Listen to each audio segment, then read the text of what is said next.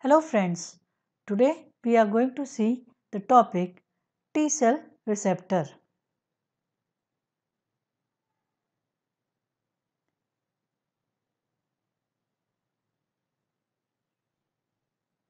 The figure shows a schematic diagram of T cell receptor which is expressed on the surface of T cells as a heterodimer.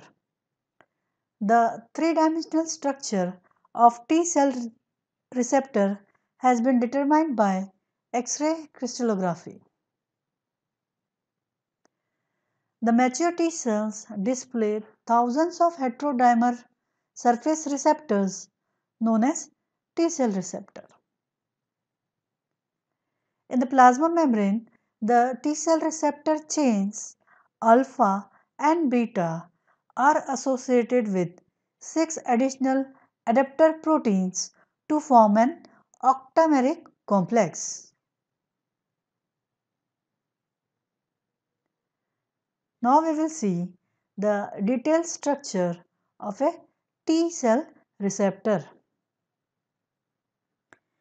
It is a heterodimer of two polypeptide chains alpha which is 40 to 50 kilodalton and beta which is 35 to 47 kilodalton covalently linked by a disulfide bond.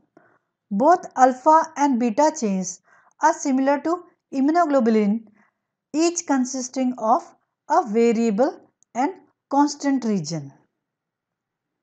Both alpha and beta chains contribute to receptor formed by the variable regions and are also associated non-covalently with four different complex proteins gamma, delta, epsilon known as CD3 molecule along with zeta chain to form a octameric complex. The variable regions in both the alpha and beta chains together forms the antigen binding site and contributes to the diversity of T cell receptor.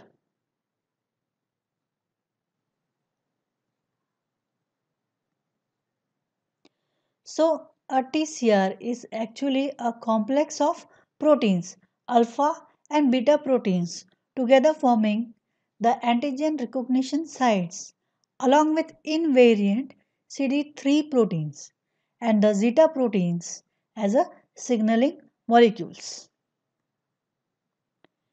The cytoplasmic tail of the T cell receptor is extremely short. Hence, the CD3 adapter proteins contain the signaling motifs needed for propagating the signal from the trigger TCR into the cell. The T cell receptor present on T cells is a complex of polypeptides along with presence of specific membrane proteins called as coreceptors.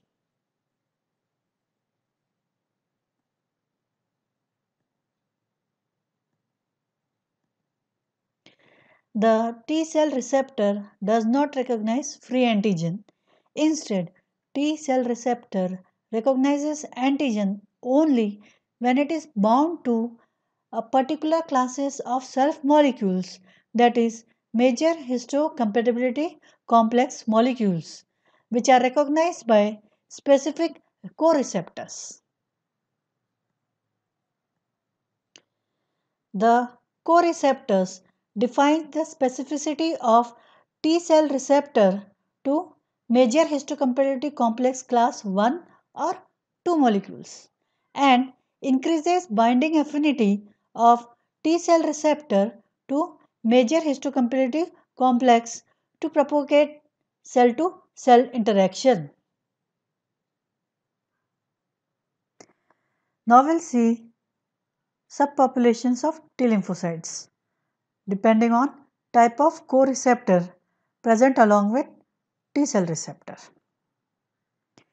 Majorly, two co-receptors CD4 and CD8 defines two functional subpopulations of T lymphocytes which are helper T cells and cytotoxic T cells. Thus, the expression of T cell receptor along with one of the co-receptors defines two major functional subpopulations of T lymphocytes. CD4 T cells generally functions as T helper cells and binds to MHC class II molecules of antigen presenting cell whereas CD8 T cells generally functions as cytotoxic T cells and binds to MHC molecules of class 1 of the target cell.